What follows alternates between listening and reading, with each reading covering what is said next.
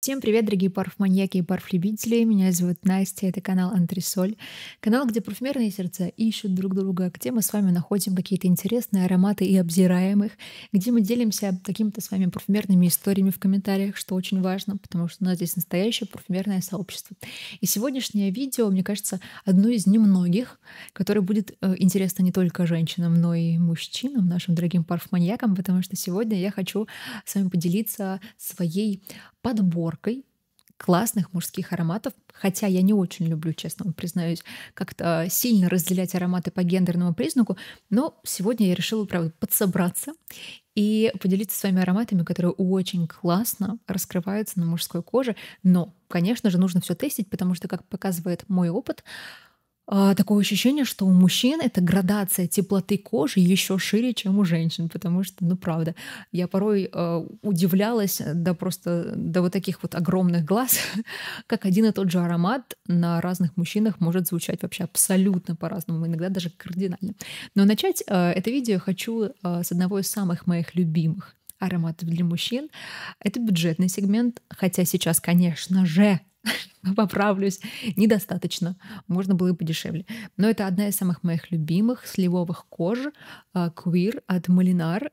У меня дома э, много этого аромата и в тревелах, и вот такой вот полноразмерный 30-миллилитровый флакон. Ну, это потрясающая история. Здесь можно найти немножко а, Bomba, а, здесь можно найти немножко джентльмена Абсолют Живанши, то есть здесь есть такие как будто бы э, такие деревяшки копченые, э, подкопченые либо костром, да, но такое дерево, вот я недавно совершенно у себя в мангале нашла дерево вишни. И это, правда, совсем другой дым. Когда, например, ты жгешь сосну или березу или какие-то другие э, деревья. Но вот когда ты жгешь именно какое-то сладкое дерево, например, вишню, это, правда, другой дым. Это прям было для меня открытие, потому что я не очень сильно глубока в этой теме. Если меня сейчас смотрят парфманьяки мужчины или просто мужчины, вы случайно заглянули на огонек, обязательно расскажите нам о этих поленьях. Так вот, э, подойдет э, мужчинам, которые любят интересные копченые кожи. Здесь ярко выраженная нота сливы, которая иногда может трансформироваться и в вишню такую древесную. Я бы не назвала это табачной вишней или какой-то сладкой. Нет, нет, это не туда. А, иногда здесь прям ярко выраженная такая корица, а, а иногда прям такая слива, не чернослив, а прям слива.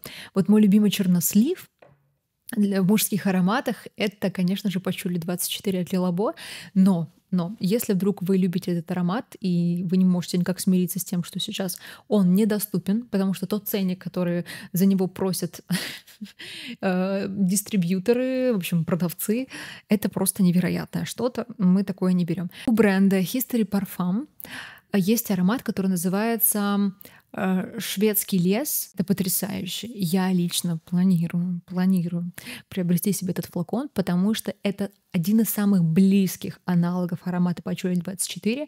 Там потрясающие деревяшки, потому что я искала в разных ароматах вот этот вот копченый чернослив. Очень часто в порой заявленных копченых, э, древесных копченых ароматах я находила именно сыр-косичку или колбасный сыр, или какие-то непонятные даже иногда колбасные обрезки. Это все было не то. Очень сложно, очень сложно было отыскать прям красивое такое черносливовое дымное дерево. И э, в аромате э, «Шведский лес» от History Parfum я его нашла. Если вы можете позволить себе аромат с дымностью, с красивой дымной кожей, очень необычной, очень байкерской, немножко с кусочками ананаса, немножко с ладаном, э, немножко с э, сухим кедром, то тогда вам в церемонию от аномалия кто-то написал на фрагрантике, что это жидкий мужчина во флаконе.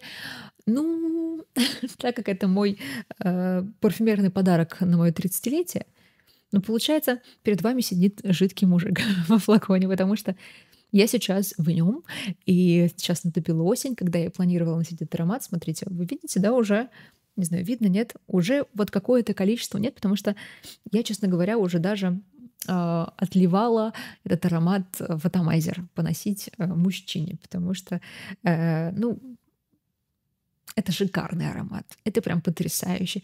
Я рекомендую вам обязательно его потестить. Он, кажется, сейчас появился на Allure Parfum, что редкость, потому что бренд Аномалия долгое время вообще нигде не появлялся. На Allure, кажется, он теперь есть.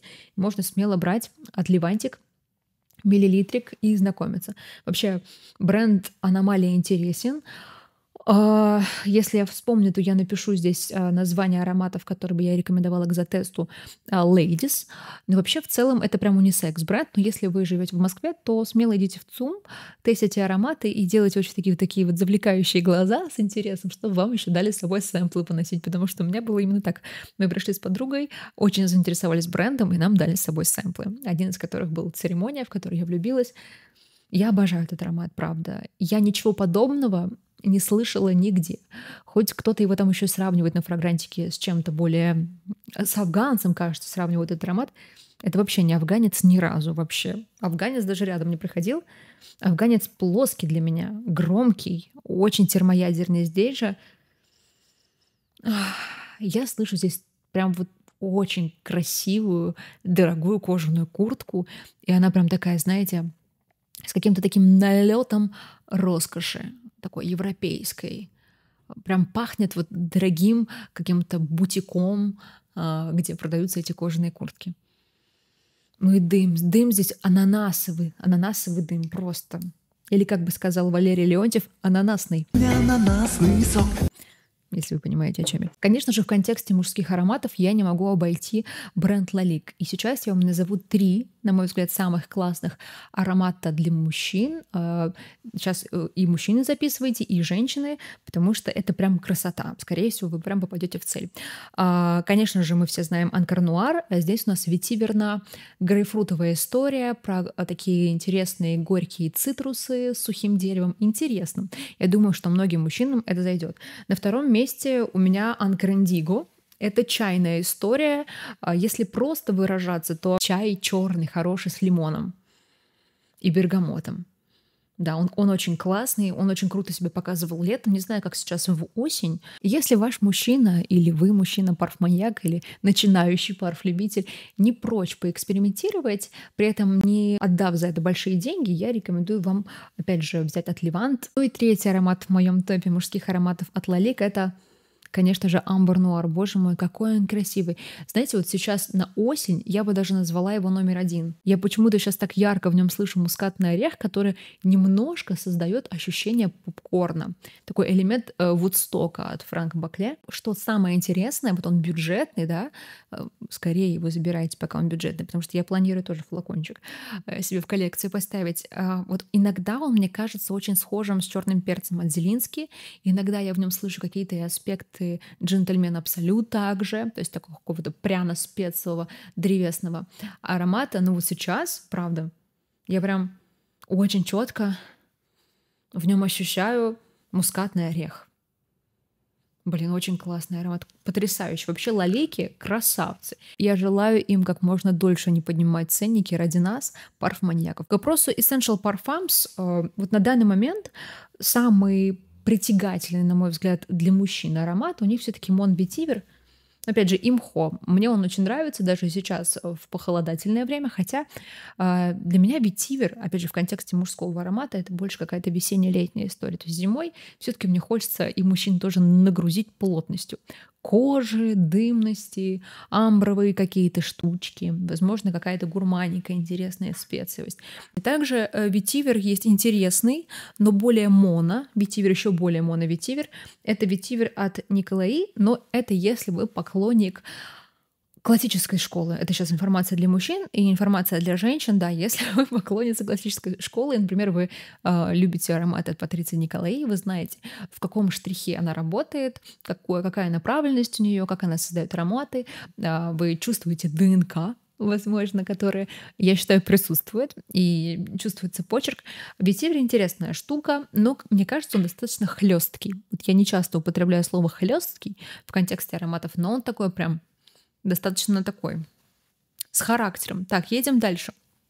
А, один из моих любимых ароматов у Пера Гийома для мужчин — это ликер Шарнель. Ой, потрясающая тема тоже на тему сухофруктов и на тему алкоголя. Кажется, здесь коньяк с сухофруктами. М-м, хорошка. А вот в какой-то момент, я помню, я свернула не на ту дорогу, когда вот я хотела, э, еще не было в доступе этого аромата в России, я вот этот вот сэмпл получила при покупке а, аромата от Перегема Муск Маори. Когда этот сэмпл попал ко мне, э, я безоговорочно просто в него влюбилась, и э, мой мужчина тоже, э, ему очень понравилось, и вот он сносил практически весь сэмпл, и я начала искать аналог какой-то, что-нибудь похожее по звучанию, потому что тогда этого аромата было не достать в России. Я почему-то решила, что фрапин 1.270 э, будет схожим, потому что он тоже такой как бы сладко-алкогольно-сухофруктовый, но оказалось на деле, что не для меня. Фрапин — это прям какая-то такая прям дедовская парфюмка, прошу прощения, если я сейчас кого-то обидела, но вот тот фрапин, который у меня был, флакон, он прям был и куда-то всплыл даже, я не знаю, ну, я э, отдала его э, из своего, из, из-под э, крыльев своего контроля, но вот он, правда, он звучал очень по-дедовски, очень сильно олдскульно, несовременно, немножко даже нафталиново, а вот ликер Шарнель, вот он прям классный, но это прям, это прям очень секси. Девчонки, берите на вооружение. Тогда я смотрю на подборку и правда понимаю, что меня тяготит к ноте сливы в ароматах. Но а, следующий аромат, о котором я хочу вам поведать, я о нем уже говорила в видео про бренд History Parfums. Если вы не смотрели, посмотрите. Не пропускайте видео на канале, которые посвящены одному бренду, такие монообзоры. Лично я такой формат очень люблю, потому что иногда нет возможности познакомиться со всем брендом, а очень хочется понять вообще твое или не твое. И вот для этого я снимаю такие видео, чтобы вы могли составить какое-то впечатление вообще в целом об интересе интересности бренда. Опять же, если вы прям увлеченный парфманиак, потому что если вы просто любите ароматики, и вам не важно вообще, что за бренд, кто создал, может быть, концепция совершенно не важна, просто важно как-то вкусно пахнет, то тогда ладно. Фрагрантика называет этот аромат древесно-фужерным. Я же просто схожу с ума. Пирамида, ну, вы сами увидите это. Слива, сосна, мускус, кашемир, кожа, лаванда, грейпфрут, корица, карамель, гвоздика, амбра. Ну, это просто прелесть. Это такая потрясающая гурманская хвоя. Это очень красиво. Это очень красиво. Как я уже говорила, а, если вам нравится копченость, дымность, то это шведский лес. Если вам нравится интересная древесная фужерность, сейчас не только, не только к мужчинам информация, но и к женщинам, то это Icelandic Wool. И еще есть потрясающий, просто потрясающий аромат на тему деревяшек. Это Finnish Timber, а, финская древесина. Боже мой, я не могу, как вам мне нравится. Как вам мне нравится. Мне все это надо. Боже мой, это, ну это просто. У меня мурашки, правда, вот прям, как бы вам показать? Ну, они не такие огромные, просто не, не вот такие. Но финская древесина — это просто, ну, крышесносный аромат. Я чувствую здесь, помимо дерева, каких-то специй, какого-то какой-то амбровности. Я еще слышу здесь очень классную черную ваниль. Она прям, она не сладкая, она прям, она придает здесь только фактуру. Я могу говорить сейчас много и долго об этом аромате, но мне слов не хватит описать вот то удовольствие, которое, я испытываю, обоняв его своими ноздрями. Все-таки это прям, знаете, это лактонное такое молочное дерево а, с ванилью, с амброй, и с характером. То есть это не какая-то мямля, знаете, такая какая-то очень сильно ванильная. Это очень круто. Прям, я вам прям очень рекомендую вам познакомиться. Следующий аромат э, бренда Père Noir Amaral. Кстати, бренд встал в золотое яблоко, поэтому можно смело потестить. Вот я заглядываю в пирамиду, и тут снова слива. Ну, я обожаю, я обожаю ноту сливы. Но какая здесь но какая здесь кожа? Она здесь анималистичная. Я не вижу, чтобы здесь э, был заявлен какой-то такой цебетиновый э, да, момент или что-то такое анималистичное, но это очень анималистичная кожа с удом, с таким копченым. Сливы прям здесь очень слышна. Очень чувствуется здесь и амброчка, очень чувствуется здесь. И какая-то еще... Наверное, это все-таки амбра такая на максималках.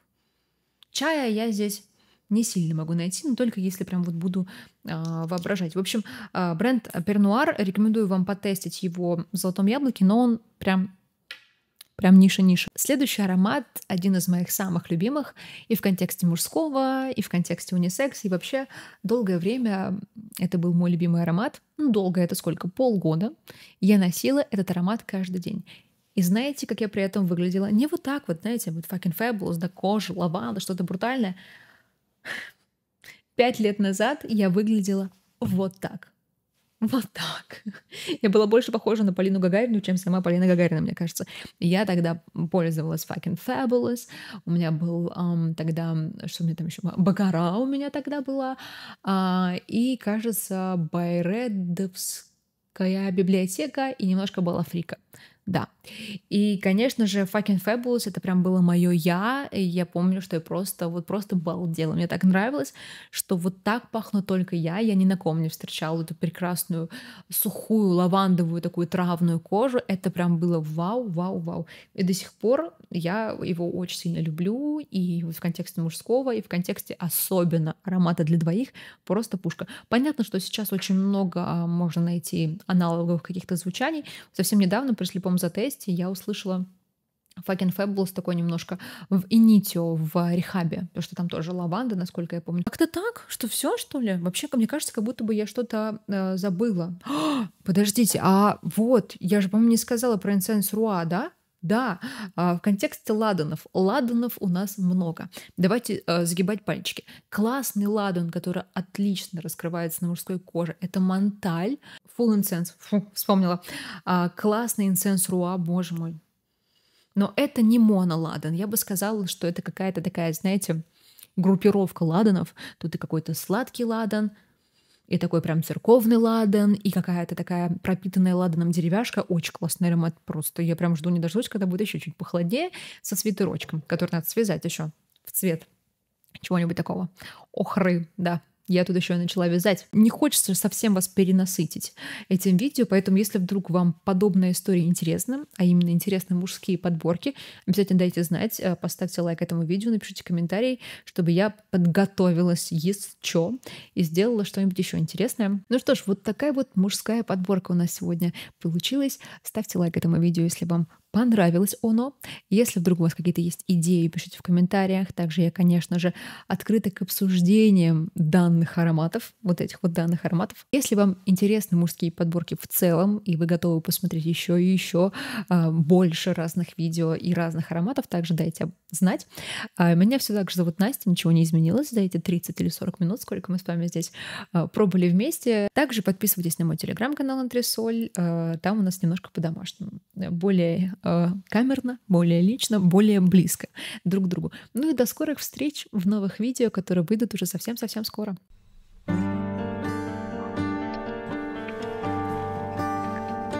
Может быть, все же встретимся снова, Может быть, будет нашим рассвет, Может бояться нежного слова. Нет больше смысла понятен ответ С легкой надеждой, голосом нежным Нас позовет живая весна. Что-то забудем, подарим людям правит мир помним, как летали корабли. Мы знаем, что бессмысленны сомнения.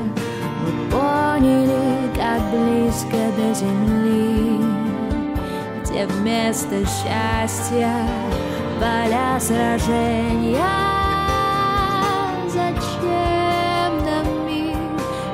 Самых главных слов? уносит нас от центра притяжения. Мы помним лабиринты наших снов. Голос чудесный, прикосновения. Я улетаю вновь к облакам. Зажили раны, море забвения. Водоворот вновь счастливых фонтан. Мы помним, как летали корабли, знали, что бессмысленны сомнения. Мы поняли, как близко до земли, где вместо счастья поля сражения. Зачем нам мир без самых главных слов? Носит нас от центра притяжения. Ты вспомни лабиринты наших снов. И оглянись лишь на мгновение